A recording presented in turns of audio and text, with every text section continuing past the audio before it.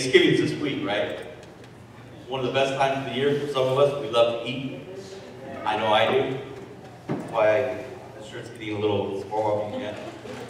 Uh, I've been hearing my employees, they've been telling, me, they've been saying, oh yeah, you just prepare for, you know, Thanksgiving, just fast before you eat. Like, yeah. Not gonna happen with me. I can't fast. Uh, but this morning I want to speak about thankful living. Thankful living. Three key ingredients to living a thankful life.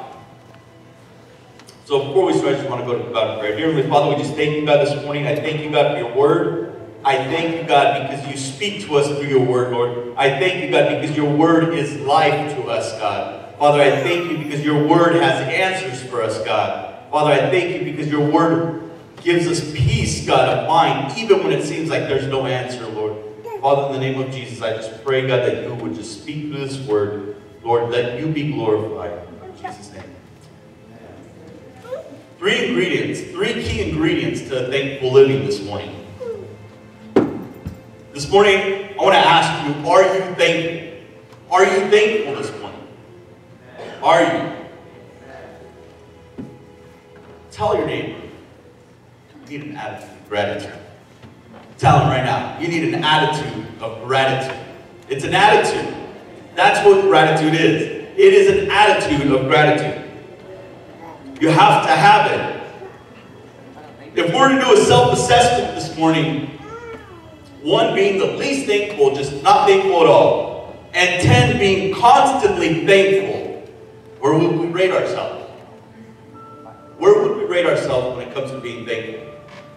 Let me give you seven reasons this morning why being thankful can help you.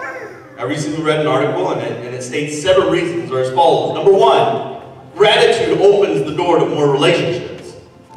How many of you guys could, you know, take more relationships? Now, I mean, I'm not talking about boyfriend, girlfriend. I'm talking about, you know, hooking up with somebody, you know, and not in a bad way. I'm saying, you know, getting to know them and, and going further. Just relationships, friendships. It opens the door to that. Thanking people makes people more likely to seek an ongoing relationship. How many of you guys have helped somebody or done something and you don't even hear thanks? It's just like if, whatever, you know? It's tough, but gratitude opens the door for more relationships. That's how it benefit you. Secondly, gratitude improves physical health. I must not very good. I need to lose some weight. I'm going to start being more thankful. Gratitude improves your health. You're more likely, a person is more likely to take care of oneself. A person is more likely to go to the doctor and get checkups, to do follow-ups, to make sure they're on the right track physically. So we're more likely to become uh, healthy. Number three, gratitude helps psychological health. It reduces a multitude of toxic emotions. Yes, there are toxic emotions, such as envy, resentment, frustration, regret. I've had a toxic emotion recently. And I'll be honest, I, you know, I let my situation allow it to dictate how I feel what comes out of my mouth. And I'm starting to realize that and I'm starting to change that. It effectively increases happiness and reduces depression. How many of you guys can have more happiness less depression or less anxiety, right? Gratitude enhances empathy and reduces aggression. One is more likely to behave in a pro-social manner. You experience more sensitivity and empathy. I'm not saying you're going to be a sensitive person and, you know, no. You're sensitive to other people. You are, you're empathetic to their situations, toward the people, and a decreased desire to seek revenge. How many of you guys have ever desired to seek revenge, amen?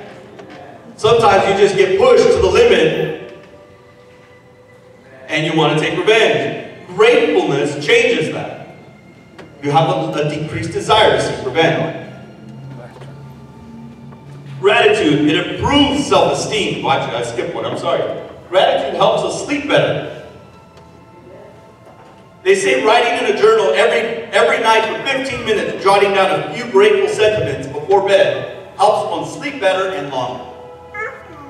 I don't know about you guys, but I don't see myself writing in a journal at. I just, just doesn't happen.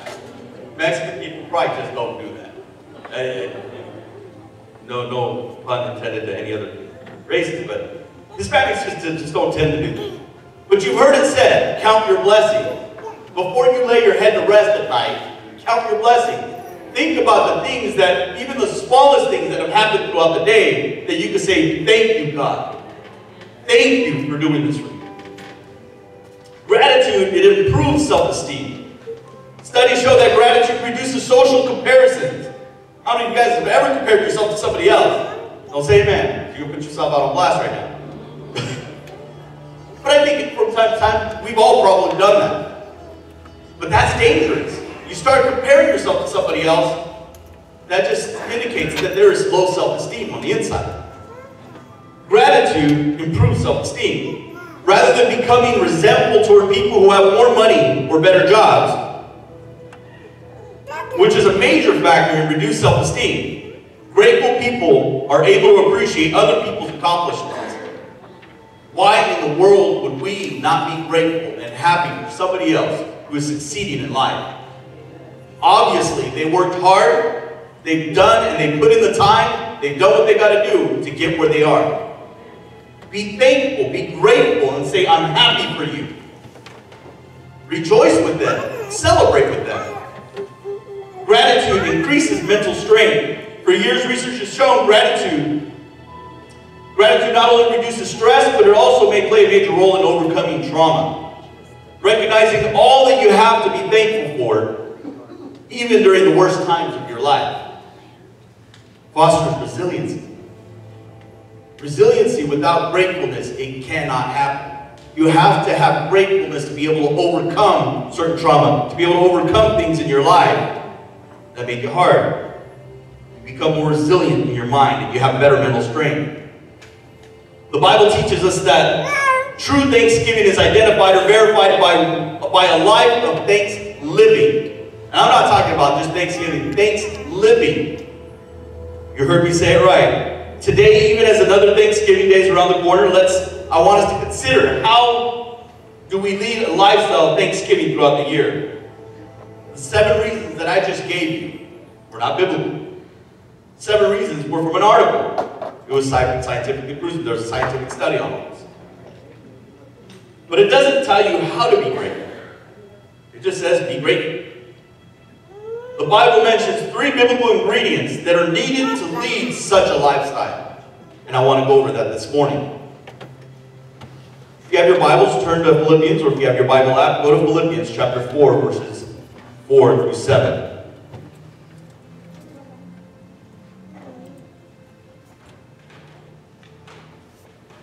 It says, Rejoice in the Lord always. I will say it again, rejoice. Let your gentleness be evident to all. The Lord is near. Do not be anxious about anything, but in everything, by prayer and petition, with thanksgiving, present your request to God.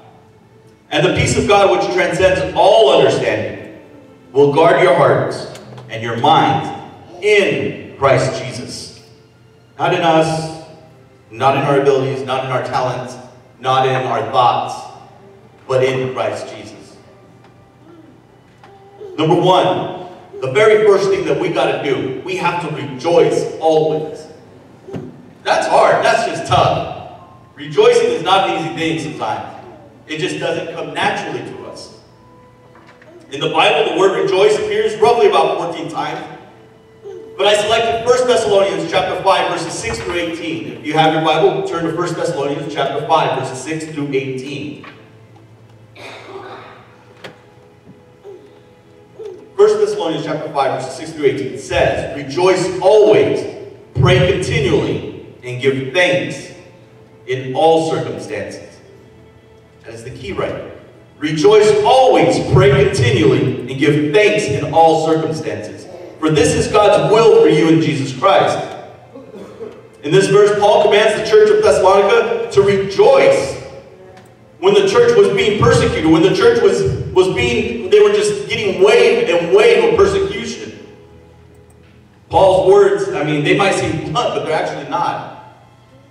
You just got to rejoice. How do you rejoice when you're being persecuted, when you're when you're going through things and, and people are getting on your nerves? How do you rejoice? Rejoice only comes, and joy only comes from Jesus Christ. The Bible says Nehemiah, the joy of the Lord is my strength. There is no other strength from any other place that you and I can go to to get. You can't get it from an app, you can't get it from, from a store, you can't, you can't buy it. The joy only comes from Jesus. Paul is speaking about joy, not happiness. What is the difference between the two, you might ask? Is there a difference between joy and happiness? Think about this for a second. Somebody brings me some cookies, I'm happy. Somebody takes a cookie, I'm not happy. That, that's a quick example. Let me give you another one. Somebody takes me somewhere to eat, I'm happy.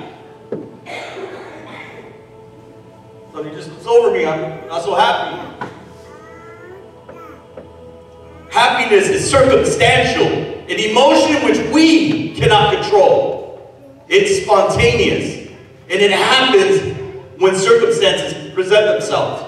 Happiness only comes when circumstances happen, whether it be a good circumstance, whether it be a bad circumstance. But that happiness will spontaneously change back and forth. We cannot depend on happiness.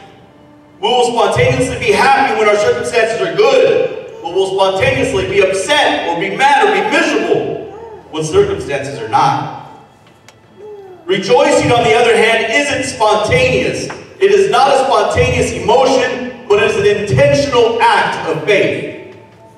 When somebody takes my cookie, I'm still rejoicing, and I'm still happy, and I'm still, I still got joy. Because uh, at some other time, I will get a cookie. It is an intentional act of faith that despite your circumstance, it doesn't matter what you're going through, I'm going to have joy.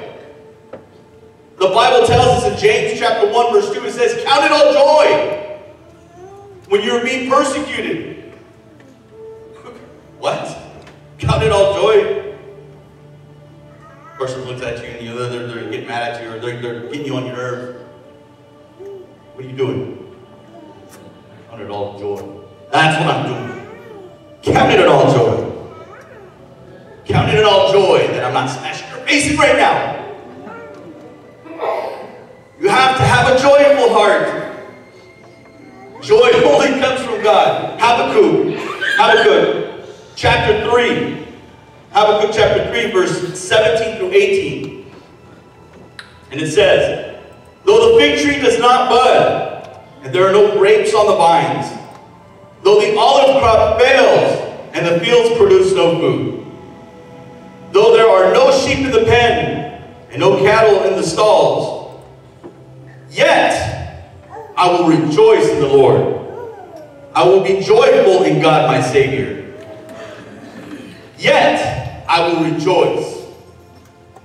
No matter what happened, joy can always be found in Jesus.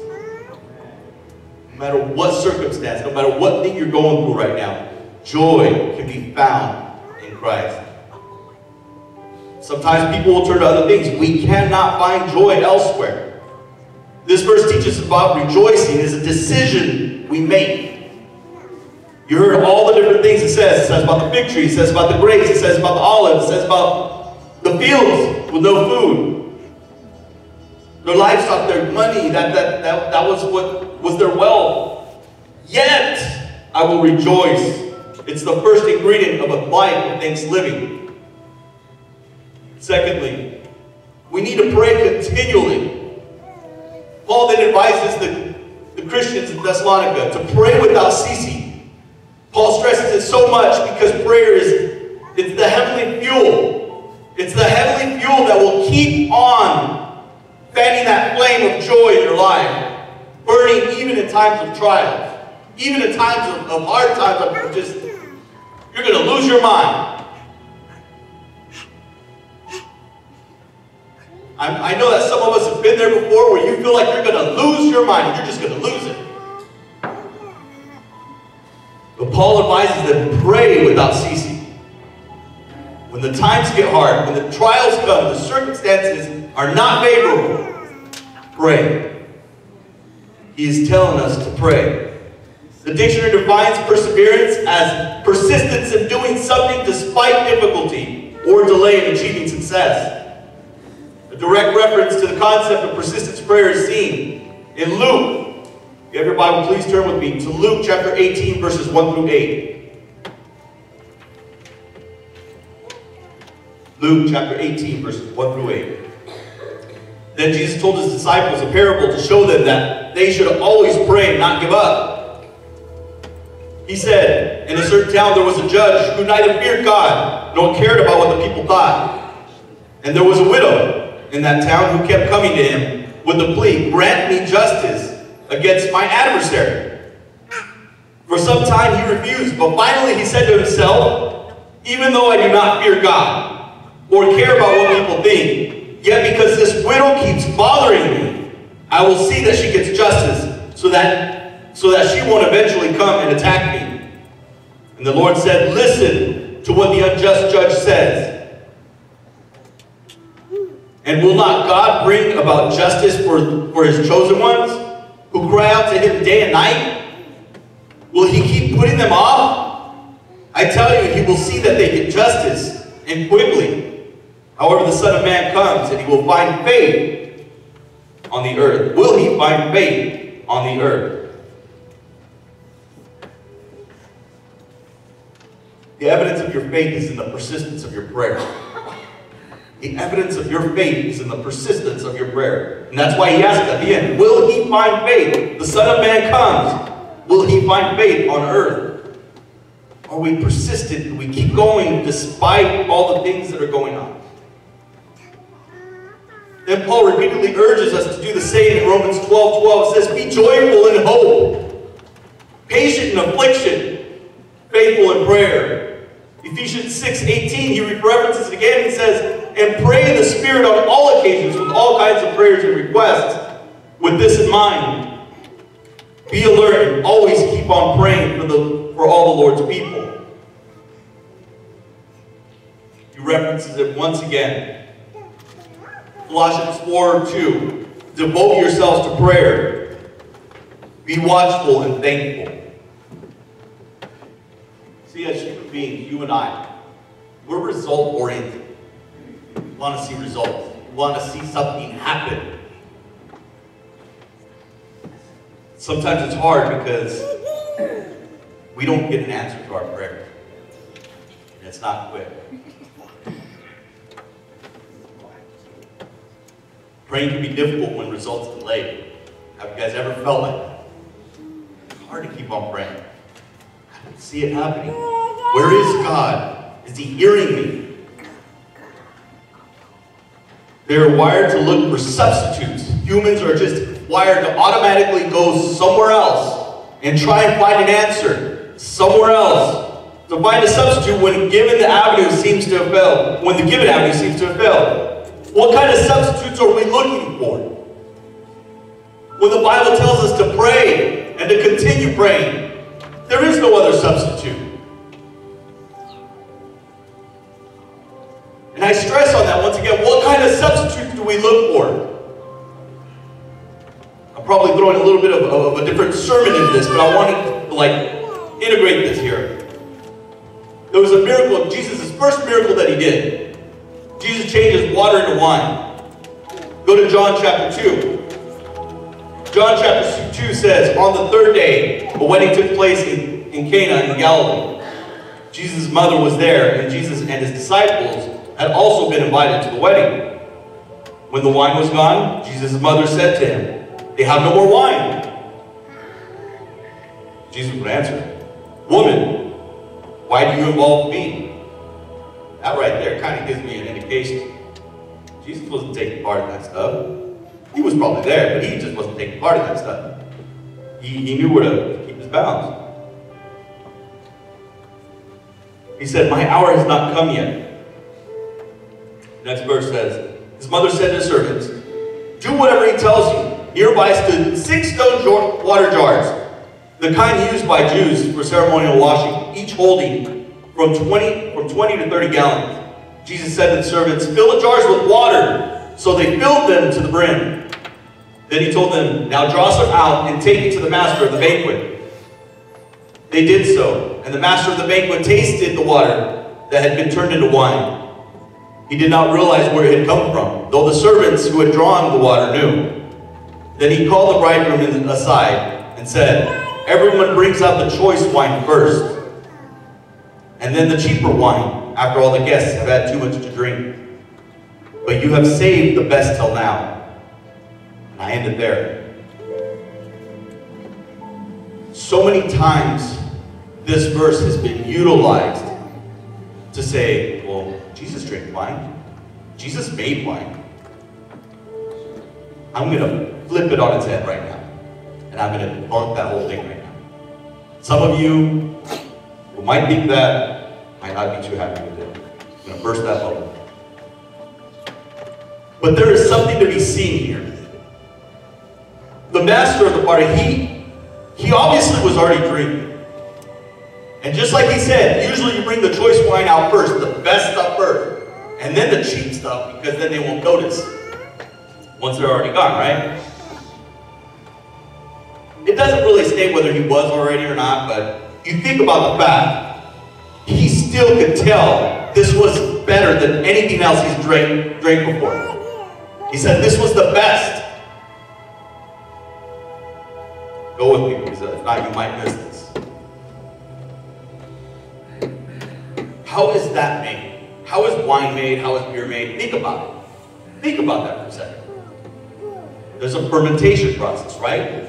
It takes time for it to ferment. It takes time for it to do what it needs to do, right? To get where it needs to get. The difference between that, sometimes we look for substitutes. We look for wine that the world has. We look for wine in other places. When right in front of our face, we have the wine that will last forever. There is a wine like no other wine, and that is Jesus Christ. I'm going to debunk it, I'm going to flip it on its head. The wine that he made was never fermented. He made it into wine. It was his wine, not the world's. There's a difference between the two. What kind of wine are we searching for? What kind of substitutes do we look for? Or do we realize that there is only one place we can go to that will give us that wine, that will give us what we need? But unlike the world, we must pers pray persistently. And I know sometimes it gets hard and it gets, it gets tough. But like I said, there is no other place. That right there just proved it right there. There is nothing else better. In Daniel chapter 10, verse 12, I want you to go there really quick. I kind of want to give you some encouragement here in regards to praying. Maybe you're tired of it. Maybe you haven't heard an answer. But I want to encourage you with this verse. Daniel chapter 10, verse 12. Then he continued, Do not be afraid, Daniel, since the first day that you set your mind to gain understanding and to humble, humble yourself before God, your words were heard, and I have come in response to them. He was obviously getting tired and he was praying for so long. That right there told him from the very first time you spoke it and you presented it to God and you petitioned it before God, he heard you.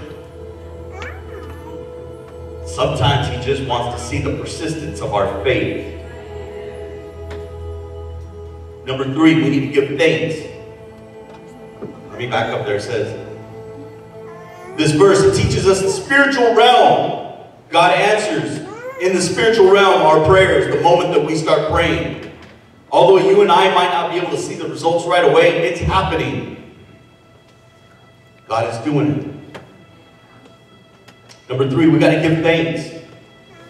In the Bible, men of influence were also men who thanked God verbally, even when in despair.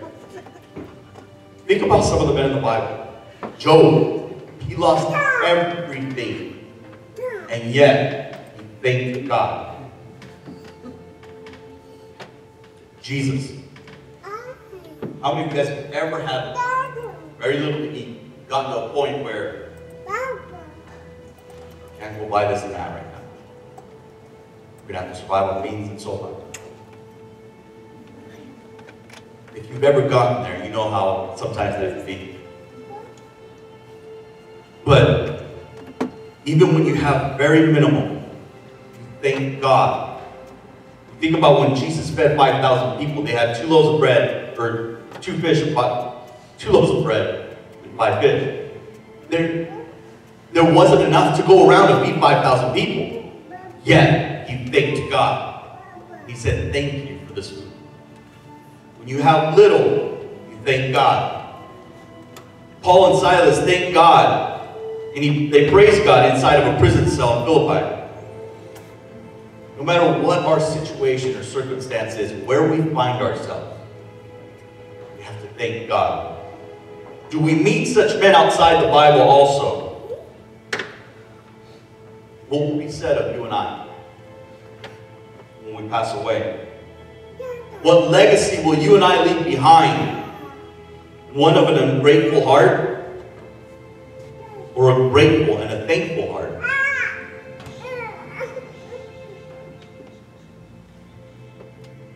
And I just started, you know, I started thinking about Thanksgiving this week just as it was coming. And through this, God's talking to me, telling me. We, we tend to focus a lot during Thanksgiving about giving thanks. But where is it at the rest of the year? Do we always have that sense, that, that feeling in our hearts? God, thank you, because without you, I couldn't be here. I wouldn't have made it. I wouldn't have what I have. Do we have that? Finally, I want to conclude by, by telling you this. Why do we need to give thanksgiving and everything. There's an answer in Philippians chapter 4, verse 7. The answer is this. Chapter 4, verse 7 of Philippians, it says, and the peace of God, which transcends all understanding, will guard your hearts and your minds in Christ Jesus. Thanksgiving immunes the heart.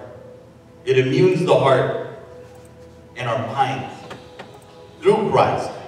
Not through some substitute, not through something else to try and get by it, or try and get through, or try and forget about it. It is only through Him, the peace of God that transcends all understanding,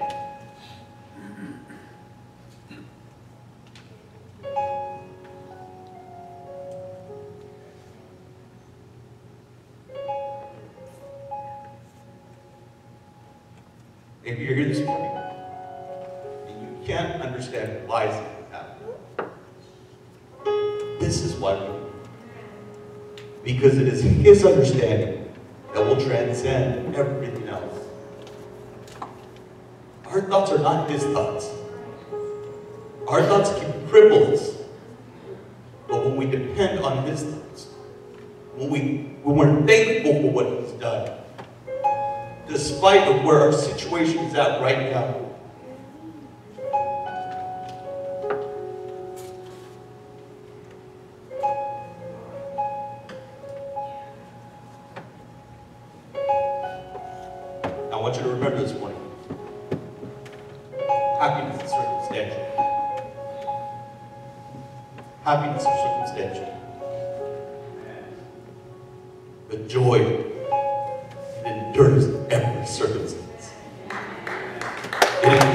Every.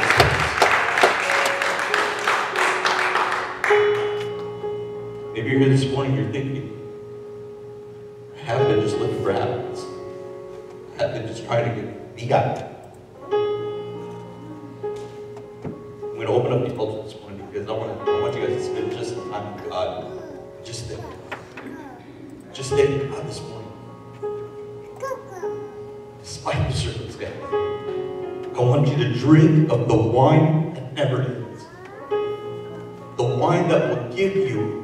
understanding.